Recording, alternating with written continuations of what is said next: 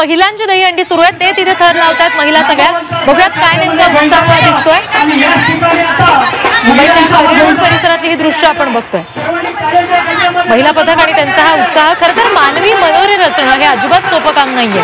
तुमच्या शरीरावर तुमच्या मनावर तुमचा प्रचंड ताबा हवा प्रचंड सराव हवा मुळात या गोष्टीसाठी. आणि अनेक दिवस अनेक महिने हा सराव करून हे कष्ट घेऊन आपल्या साथीदारांच्या सोबत या सगळ्याजणी इथे आलेल्या आहेत.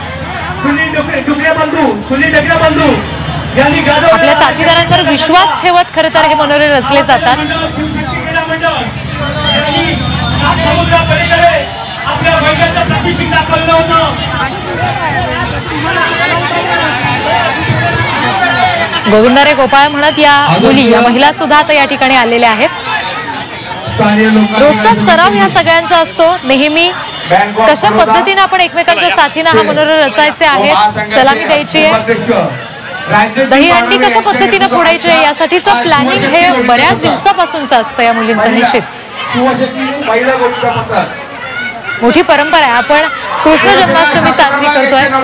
कृष्ण ज्या पद्धतीनं गोकुळात असलेल्या त्याच्या घरांमधल्या गोपिकांजवळचं जे दही दूध लोणी आहे ते पळवण्याचा प्रयत्न करायचा त्याचा हात शिक्यावर ठेवलेल्या त्या दहीहंडीपर्यंत पोहोचायचा नाही.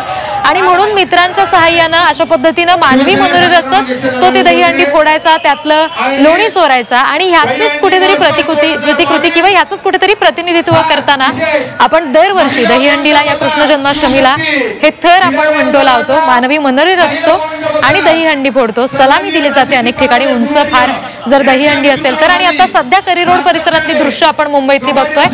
महिला पथक आहे.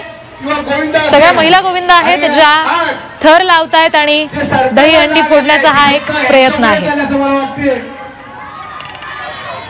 सुरक्षेची काळजी सुद्धा या ठिकाणी घेतल्याचं आपण पाहतोय. आणि हा चौथा थर हा संपूर्ण दहीहंडीच्या मनोऱ्यातला चौथा थर आपण पाहिला. सलामी देऊन आता पुन्हा एकदा तितक्याच काळजीनं तितक्याच सरावानं आणि सराईतपणे या मुली आता पुन्हा एकदा खाली उतरताना आपल्याला दृश्यांमध्ये पाहायला मिळतात त्यांना प्रोत्साहन देण्यासाठी इतरही गोविंदा तिथे जमलेले आपण पाहतोय.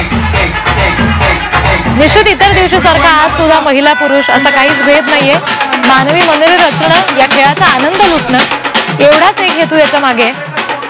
आणि दोन वर्षानंतर आपण दहीहंडी साजरी करतोय. करी रोड मधला हा महिला पथकाचा जल्लोष आपण बघतोय. कारण चार तारखेची यशस्वी सलामी त्यांनी दिली आहे. आणि त्यानंतर त्यांचा जल्लोष कारण बऱ्याच दिवसांची मेहनत याच्या मागे आहे. तेव्हा ती सगळी मेहनत आता फळाला आली असं म्हणायला हरकत नाही. चार थर त्यांनी उभारून मानवी मनोरा रचत सलामी दिली. आणि त्यानंतरचा त्यांचा हा आनंद जल्लोष आणि उत्साह आपण बघतोय.